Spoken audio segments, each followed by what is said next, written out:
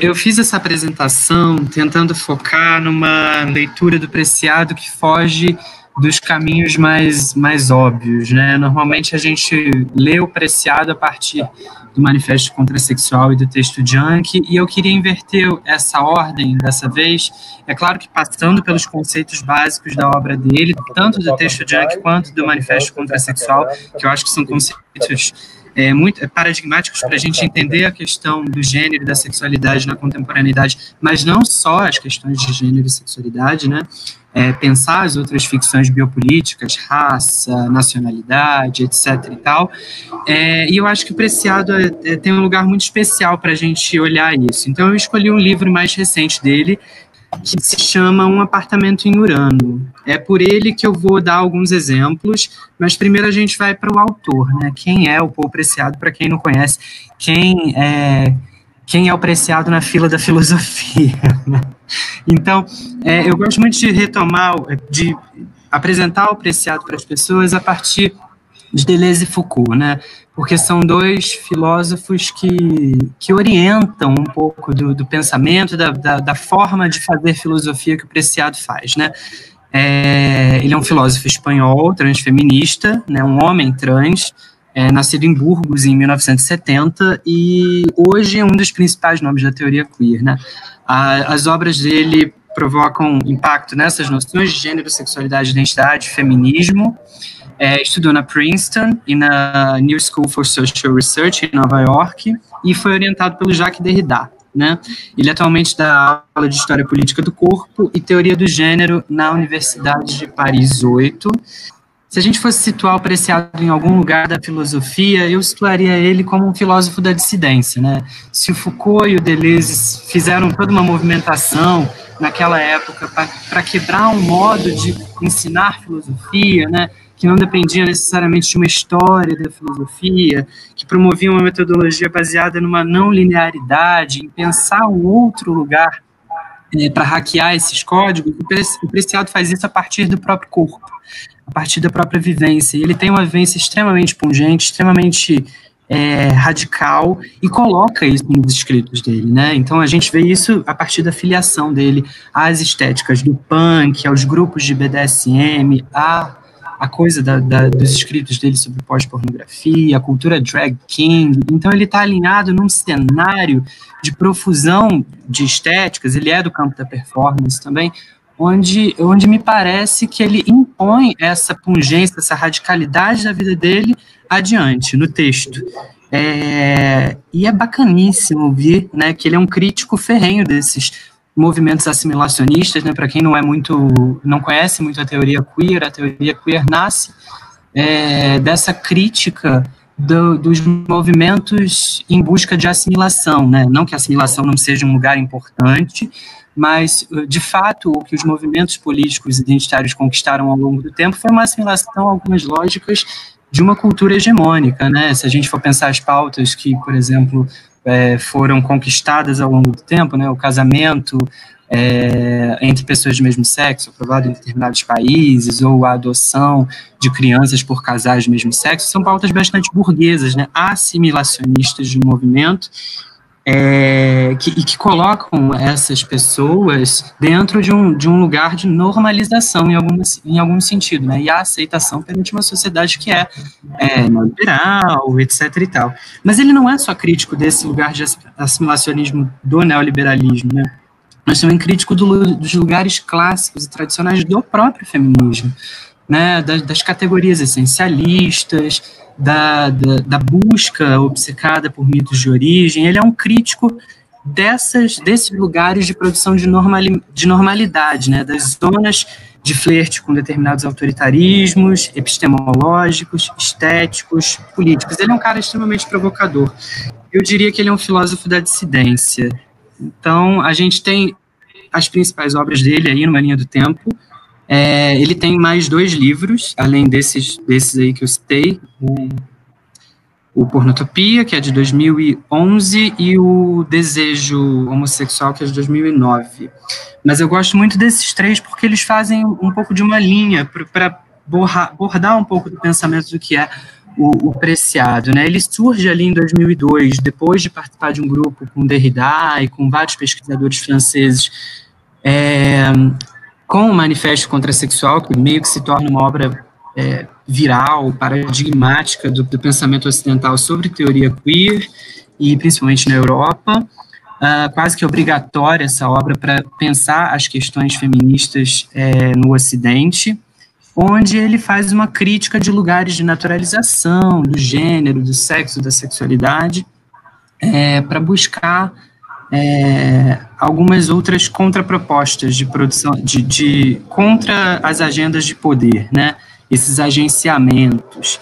É, brevemente falando, a gente vai para 2008, onde ele começa um, o texto junk. Texto junk, para quem não sabe, é um o nome dele é, não é texto de texto, né? É texto de testosterona. E junk, como se fosse uma palavra para traduzir viciado, é, é o momento do, da vida do preciado onde ele começa a tomar testosterona em gel fora de um protocolo médico para quebrar com a com a necessidade de ter de se assumir um doente, um disfórico de gênero.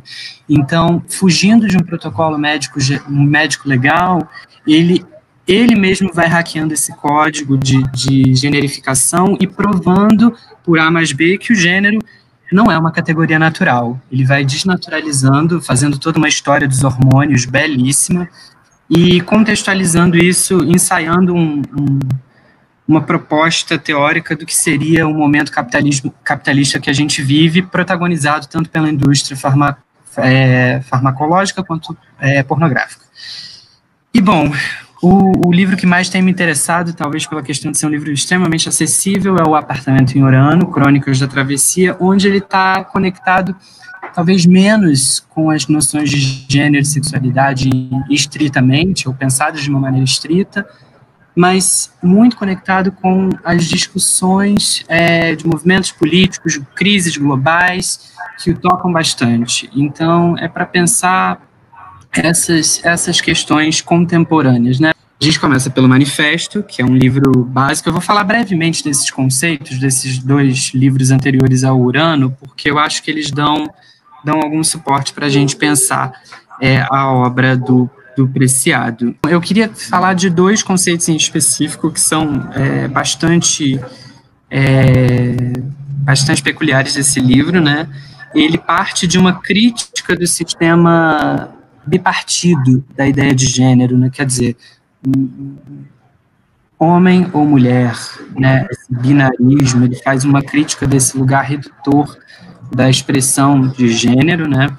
E da sexualidade e ao sistema social que ele chama, né? O Preciado é um cara que cria muitas palavrinhas, né? Ele adora o neologismo.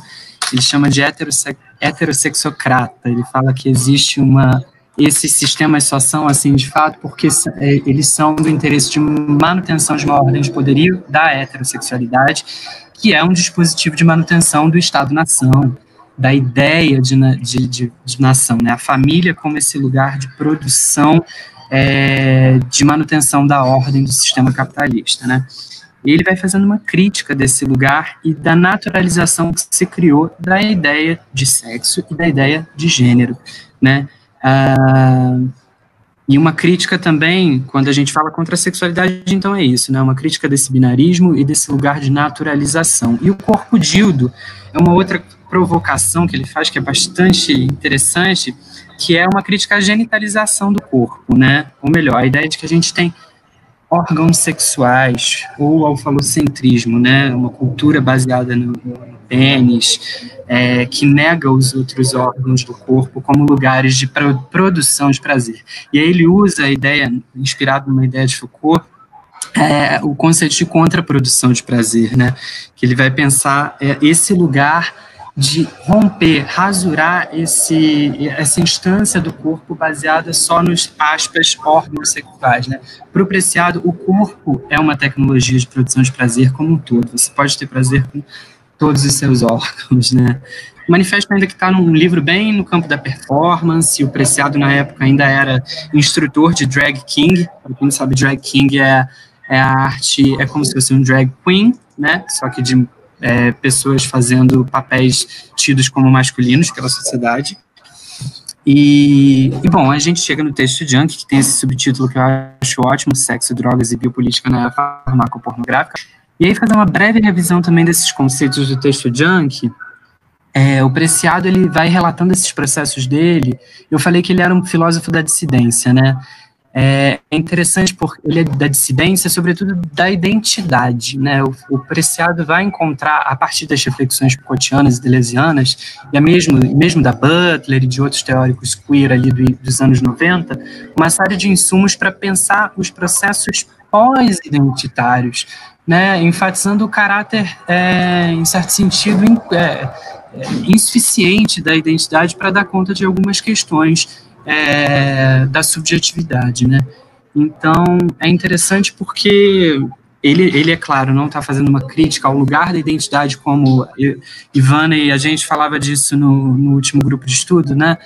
Do, do Deleuze, ela, ele não faz uma crítica exatamente do lugar da identidade como um lugar de produção de, de conquistas políticas, de tática política, né, de ocupação de espaços importantes. A identidade não se trata de negar a identidade nesse campo, né? A identidade é sim é, um lugar é, extremamente importante dentro de uma movimentação política, de acesso a uma mobilidade é, subjetiva, cultural, é, de conquista de espaços de fala, mas eu acho que o Preciado já está indo além, nesse sentido, quando ele fala em desidentificação ou dissidência da identidade, porque ele está indo num processo que é romper com essa história da, da, da essência identitária para tentar outros caminhos, porque mesmo a identidade produz algum tipo de assujeitamento, é, nas palavras do Preciado, né, que é um, é um cara vamos retomar, né, um sujeito, um homem trans, é um, nessa época que ele escreve o texto de Young, ele está ainda num,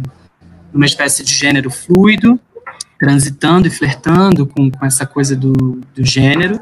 E, bem, ele chama isso de hackeamento de gênero, né? Esse lugar entre um gênero e outro, que não, que não é homem, que não é mulher, que é, não é binário, é para ele um lugar de hackeamento, de terrorismo de gênero, de biohacking, né? Nas palavras dele, é uma tentativa de frustrar a sociedade é, como um todo, porque ela é construída a partir desse molde binário, né? É, eu vou falar disso um pouquinho mais à frente também, mas ele faz isso através da testosterona em gel. Ele vai se aplicando, contrabandeando, fora de um protocolo médico-jurídico, porque o protocolo até, eu não sei se vocês sabem, mas até três, dois anos atrás, a transexualidade ainda estava tida no rol de doenças psiquiátricas, e, e, bom, você deveria, para entrar no processo de transição, se declarar um doente, né? Então, eu acho que o lugar de extensão do preciado é fazer é, é, justamente essa crítica do lugar de se declarar disfórico, né? Por que, que alguém precisa chancelar a minha identidade dizer quem eu sou de fato, se eu vivo isso e sei quem sou? É, então, é, é nesse lugar que a, a, escrita dele encontra também a pungência da vida, né? É, o, o, lugar de fala, né? Como, como a gente está acostumado a chamar isso. Então, ele vai escrevendo texto junk, é, a partir das interações medicamentosas com a substância, e tal como outros teóricos fizeram isso. Né? Ele não foi o primeiro teórico a fazer, a provar uma, uma autoexperiência do, né, do próprio corpo, então, ele, imagina, Freud fez isso com a cocaína, o Walter Benjamin fez isso com o rachixe, mas se a gente pensar no âmbito geral, não só esses autores, né? Já que no campo do contemporâneo a gente ter, é, todos nós somos sujeitos de algum modo ou de outro é, é, que interagimos com algum tipo de, de, de substância, algum tipo de prótese, né? Nas palavras da teoria da Dana Haraway, se a gente for citar a Dana Haraway, que tem o Manifesto Ciborgue, que pensa essa questão da, da humanidade, dos caminhos do pós-humanismo, de que maneira a gente é, interage é, com, com as tecnologias, né? Então, o Preciado também é um leitor da Dona Haraway, né? Que a gente já meio que falou dela uma autora super importante para pensar as questões do corpo é, da contemporaneidade, mas a Dona Haraway, inclusive, que não é uma entusiasta da, da, tecnologia como pintam ela, né, ela só diz o óbvio, né, na verdade as interações com as tecnologias precedem de, do, do, momento de agora, né, elas já existem há bastante tempo e, e, bem, o corpo nunca foi um elemento puro em si, né, a subjetividade, a linguagem, elas já são próteses, né, de alguma maneira, a, a linguagem precede o o corpo nesse sentido, né? Ela é já em si uma prótese e que está relacionada à cultura, né, e tudo mais, mas eu acho que o Preciado está pensando isso de uma maneira até mais objetiva, que é a nossa interação com ah, as substâncias, os, os elementos medicamentosos, para dizer, acho que o intento do Preciado é também desnaturalizar e dizer, olha, é, há coisas da nossa subjetividade que podem ser bioquimicamente produzidas,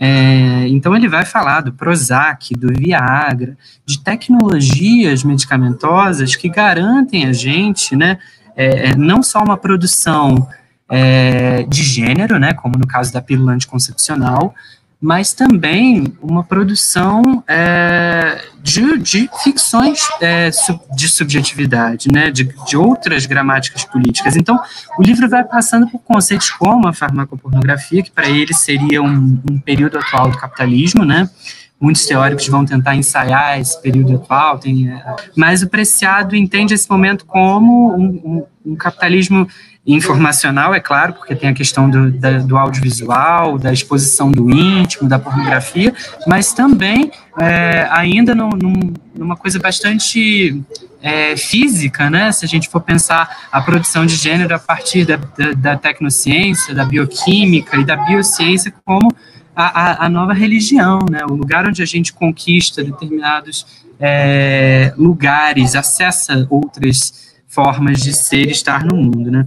Então ele vai passando por esse lugar de, de, definir esse capitalismo como que ele chama de far, farmacopornográfico, que é baseado em próteses semiótico-técnicas, né? A nossa interação tanto com os medicamentos quanto com as tecnologias de produção de imagem e, e de que maneira isso vai constituindo os sujeitos em si e as relações.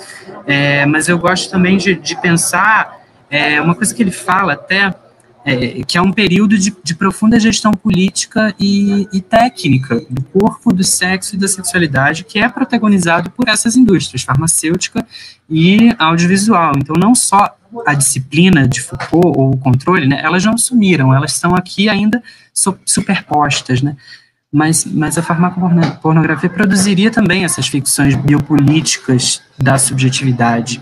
Ele faz isso, ele, ele usa esse argumento, é claro, é, contando toda uma história dos hormônios, dizendo que os hormônios não podem ser chamados de hormônios masculinos ou femininos, né, como dizem por aí, e trazendo para o debate, é, a partir dessa história dos hormônios, diversos casos que são até chocantes, né, o, a, a própria história da pílula anticoncepcional, que foi testada, antes de mais nada, no, nos corpos das mulheres porto-riquenhas, é, de favelas porto-riquenhas, então eram os corpos das mulheres pretas de Porto Rico, que eram demarcados e usados como campo de teste para a produção da tecnologia do, da pílula anticoncepcional. É, foi, foi também é, uma pesquisa com os judeus nos campos nazistas que levou a uma série de, de de resultados sobre os hormônios masculinos, né? E ele conta também a história do Alan Turing, né? Que é muito, é, eu não sei se todo mundo aqui conhece o Alan Turing, que é tido como pai da ciência é, da computação. Ele foi um matemático que, que criou a computação, assim dizer, né, no, período da guerra, e ele foi condenado no, pelo governo inglês da época por ser homossexual é, a castração química. E aí muita gente né, que defendia a castração química, ainda há, né? Se a gente vem para o Brasil de 2020, a gente ainda vê isso, claro. Mas eu acho que o Preciado vai contando de que maneira a, a castração química também produz genereidade. E o, o castigo da castração química não é é, não é o óbvio que parece ser. É produzir feminilidade num corpo que é tido como masculino. É produzir é, falta de pelo, falta de tesão, estresse, uma série de caminhos que as pílulas anticoncepcionais já produzem e sempre produziram nos, nos corpos femininos. Então, é interessante também ele, ele é, sublinhar essa dimensão do, do, do, gênero como uma coisa tecnicamente produzida, né? É, para desnaturalizar, para questionar esse lugar do, do status quo heterossexocrata, né, de, de manutenção de, de uma ordem de poderio a partir dos discursos de naturalização.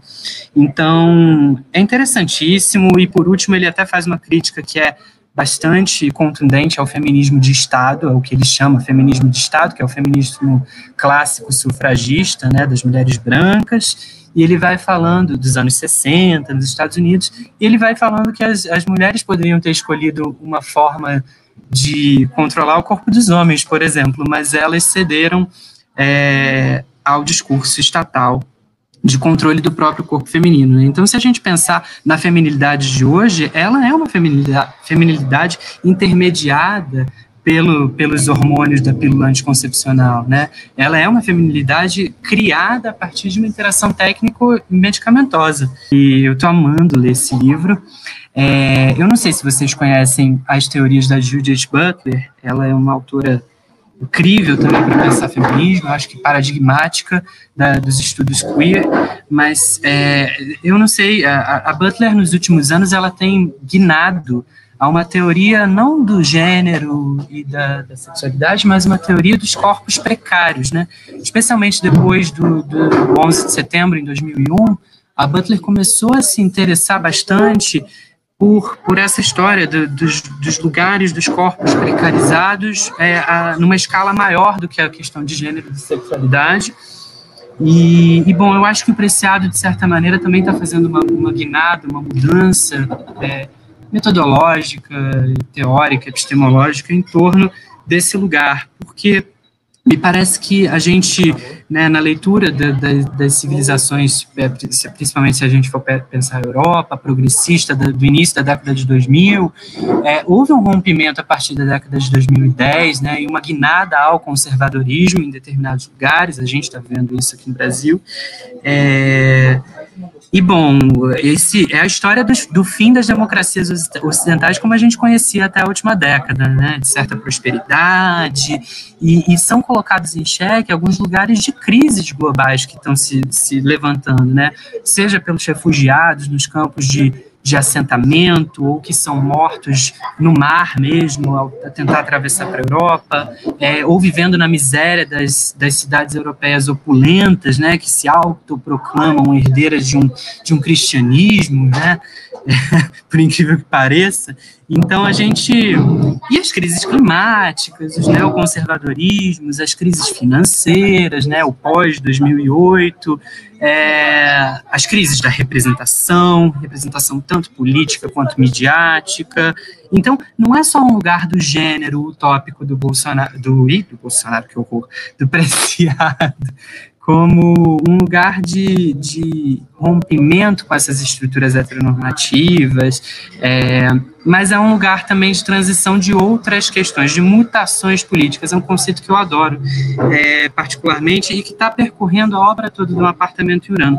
É um lugar é, de mutação política e transição planetária. Né? Então, o, Um Apartamento Urano é um livro de crônicas, é um livro bastante mais acessível, a meu ver, do ponto de vista teórico, conceitual, porque ele traz uma análise, é, são as crônicas, em maioria, que ele fez para o jornal francês Libération, não sei se vocês conhecem, jornal progressista, é, histórico, já, já tiveram, enfim, artigos de artigos e entrevistas com Deleuze, uma série de, de autores. Bom, e aí a gente vai para o Urano, né? O que, que é? Por que esse nome Urano, né? E aí a gente vai para a mitologia, é, ah, mas antes da mitologia, a gente vai para os sonhos, né? Eu acho que no texto que eu passei para a galera ler, tinha um pouco disso, né? O Preciado dizendo que a vida, a vigília tem se tornado cada vez mais desinteressante e os sonhos muitíssimo interessantes. E num desses sonhos ele falava com uma pessoa que ele queria ter um apartamento em Urano.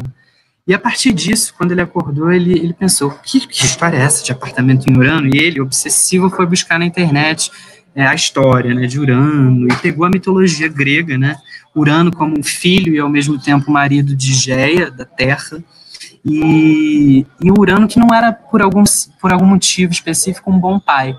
É, então a gente pode dizer que tinham alguns conflitos, ele jogava os filhos dele todo no Tártaro, é, era uma coisa horrorosa. E aí um belo dia um, um dos filhos, o Cronos, né, o Tempo, se rebela contra o pai a pedido da mãe, Terra, Geia, e faz essa imagem da segunda, da segunda foto que eu coloquei aqui, que é esse, esse quadro do Giorgio, esqueci o nome dele, gente, mas enfim, é um italiano, está exposto num lugar público da Itália, que é a castração de Urano. E aí é interessante isso, esse episódio da mitologia, porque a castração de Urano, ela leva ao nascimento de Afrodite, a deusa do amor. Então é quase que uma história de como se, é, é como se o amor fosse fruto de uma relação não sexual, uma coisa muito mais, é, enfim, onírica, né? Um lugar de. O interessante disso tudo para mim é que é, Afrodite nasce, é, é, fruto de uma relação que não é a heteronormativa clássica, né? É fruto de uma relação de dissidência já. Então é interessante você pensar nessa mitologia, né? E subverter ela, é claro, nos dias de hoje. É, e é quando o, o, Preciado também acha a história do Karl Ulrichs, que é um alemão, e que em 1867 falou sobre uma historinha dessa, baseada na mitologia, provavelmente, é, falou sobre uma palavrinha chamada uranismo, né? Para ele, os uranistas seriam pessoas de alma feminina presas em corpos masculinos, né? Então, ele, naquela época, tenta desafiar a lógica de gestão política do corpo, da sexualidade, mas também de todo um dispositivo médico, legal, jurídico, de, de manutenção de ordem de poderio, que tratava a, sodomia, né, a homossexualidade da época e tantas outras formas de incidentes, como doenças e prevenções, é, ou se ainda não tratava, ia começar a tratar. Uh, mas é interessante, né, você pensar o uranismo como esse lugar de corte epistemológico, né, é o nascimento de uma epistemologia binária do Ocidente, cortar em dois, o homem a mulher, o masculino o feminino, o homossexual o heterossexual. E é quando o Karl é evidente que o Ulrich é condenado à morte, né, mas ele prefere não fugir, tem os diários dele até hoje. E o Karl é, Benny, que é um ativista na Prússia, ele escreve uma carta no ano seguinte ao Ulrich, é, póstuma, é, usando esse termo que a gente usa até hoje, né, de homossexual. Então estava feito o regime político, é, político visual dessa diferença, né, que nos, nos percorre até hoje, eu diria, né, se a gente for pensar é, essa, essa diferença, esse regime político-visual da diferença, ele está nos hospitais, quando a gente nasce, um médico olha para a nossa para a nossa característica física nos define como homens ou mulheres ou sei lá o que. É, e quando se tratam de crianças intersexuais, o, o, o médico toma a decisão de para qual gênero criança vai, vai corresponder. É, e, enfim, tá nos aeroportos, tá, tá nos banheiros, né? Se a gente for pensar que todo o sistema político é criado, é fundado a partir desse, desse binarismo, é bastante bastante intrigante, né? Então, o Preciado, obviamente, quer questionar esse lugar. Por que, que a gente tem que ser reduzido a isso, né? A essas figuras. Tem uma citação aqui, o que denominamos subjetividade é apenas a cicatriz que deixa o corte na multiplicidade do que haveríamos podido ser. Sobre essa cicatriz se assenta a propriedade, se funda a família e se lega a herança. Sobre essa cicatriz se escreve o nome e se afirma a identidade sexual. Então, é, mais uma vez, o Preciado fazendo uma crítica desse lugar da identidade como um lugar de redução, né, e não um lugar de, de criação de multiplicidades, é, como a gente esperaria ser. Né? Nós somos sujeitos muito mais múltiplos do que extremamente singulares, né? E aí, ao longo do texto, ele vai falando desses, dessa coisa da travessia e da desidentificação, né? É, bacana porque ele vai falando de um lugar de, de infidelidade, um lugar de não fidelidade a um gênero tradicional, né? Sempre ao redor de um punctum em espiral, mas não em direção a um estado permanente, a um ponto final. Então, o Preciado ele não entende o gênero como um um ponto final da nossa expressão de vida, né? Como um lugar que define a gente é, de, de, definitivamente, né?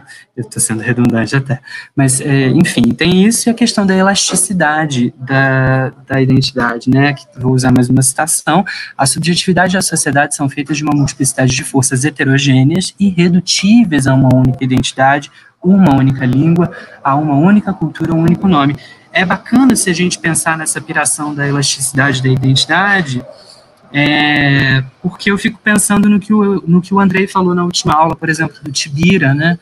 o Tibira como a gente pode entender o Tibira hoje como uma, uma primeira bicha indígena assassinada pelo Estado, é, mas é claro que dentro das dimensões políticas e estéticas daquela época ele não era né, um bicha.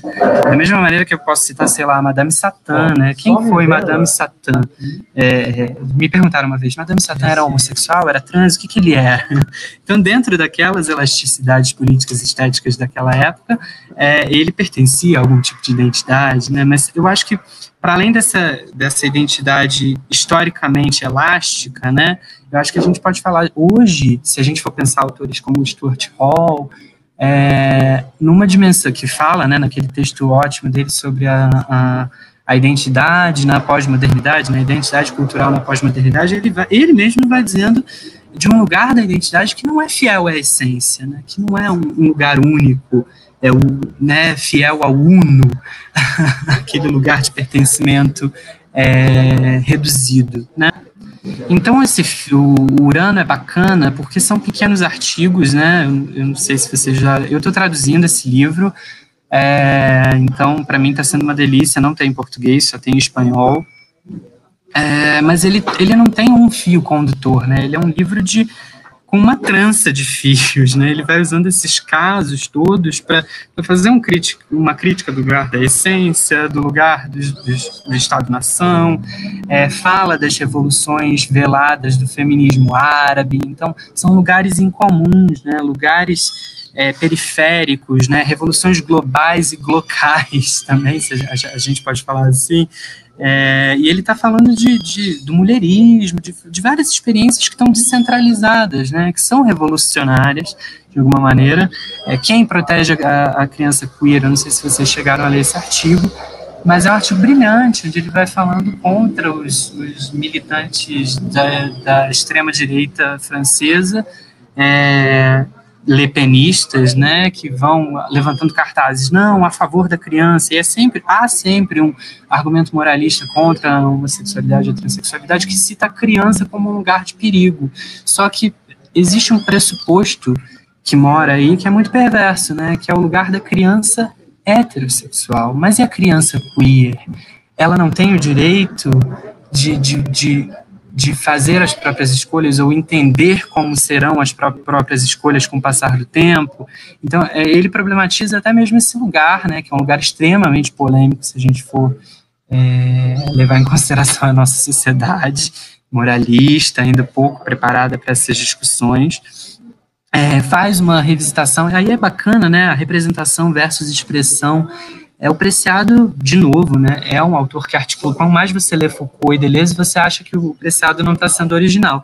Mas a grande originalidade do Preciado, na verdade, é trazer a própria experiência da vida dele, essa ética, é, essa estética da existência, né, citando Foucault, é, para o texto. Então, mas ele retoma conceitos Foucaultianos, conceitos deleuzianos, né, como, por exemplo, o, todo o debate deleuziano sobre a, a crítica da representação, como um lugar insuficiente para a gente pensar as imagens, né? A representação como na maioria das vezes interpretada como um lugar de espelho, de catalisação de um mundo real, e o Preciado vai dizer, peraí, calma, é, esse, esse mesmo, não, é, não se trata de falar de representação, mas de expressão, porque a gente está falando de uma imagem que em si só cria mundos, né, ela é um catalisador de mundos, de ideias, ela já é a coisa em si, ele está tá fazendo esse lugar de que, é, contestação é, e de oposição.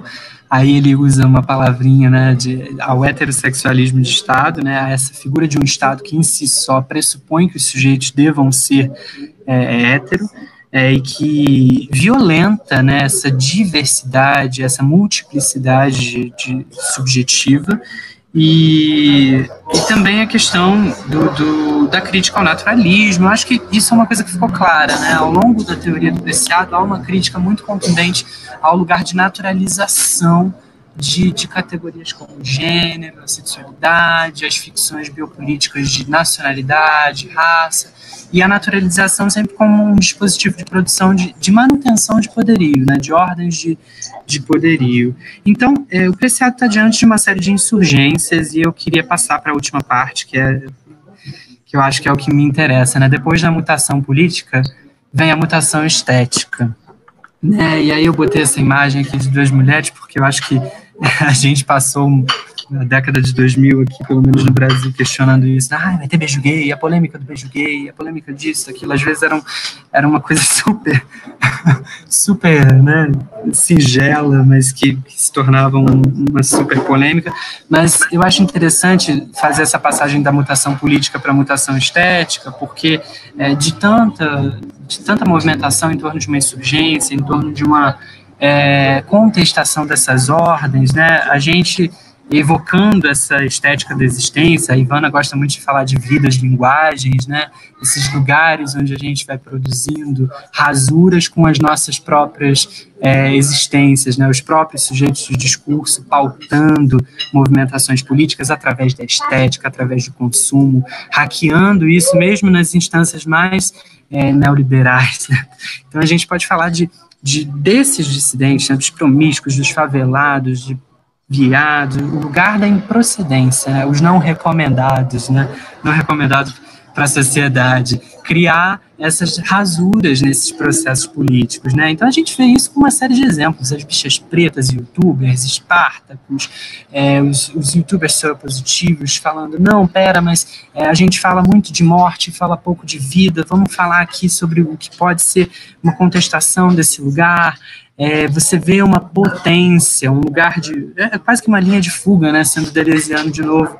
É, os artistas pop é, ditando uma série de tendências, né? Eu acho que se a gente for pensar no, no hoje, não tem como não citar a Pablo Vittar como um exemplo paradigmático de uma cultura pop e de uma cena drag efervescente, é, goste dela ou não, eu acho que a, a figura dela é, impõe uma presença, né, uma existência que, que chega até determinados grupos sociais que não, que não acessavam aquilo antes, né? Então, o conceito está chegando, né? as pessoas sabem efetivamente o que é uma drag queen, ainda que com alguma confusão, mas elas estão diante disso, né? É uma coisa que eu vejo muito da minha geração para a geração mais mas que está saindo, está entrando na faculdade agora, é isso. Assim, é uma geração que sabe dar o nome às coisas. É, talvez há 10 anos atrás eu não soubesse é, falar que um professor estava sendo, sei lá, machista, e hoje as pessoas sabem reconhecer esse lugar. Eu sabia que o professor era, era tosco ou estava falando alguma besteira, mas eu não sabia dar nome àquilo. E essa geração já carrega essa potência, né, que eu acho que está muito mediada por essas mutações estéticas, né, desses lugares de potência, da MP Bicha, Lineker dos Caramelos, Johnny Hooker, as Bahias da Cozinha Mineira, Mamundi, que não são só cantores é, homossexuais ou transexuais, mas são cantores que cantam esses afetos de alguma maneira, né, é, não, não é só é, porque a gente sempre teve cantores de, de né, Fred Mercury, Ney Mato Grosso, etc e tal, mas o, o cantar essas vivências, essas experiências está muito está muito presente nos dias de hoje, né?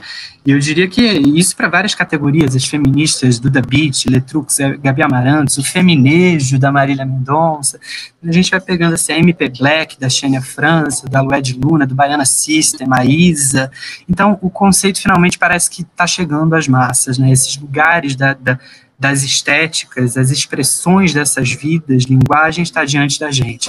E, e o repertório está aí, né? É, pode passar, eu acho que com isso eu encerro a apresentação de hoje.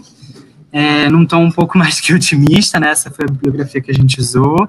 Acabamos, né? É... Obrigado, gente.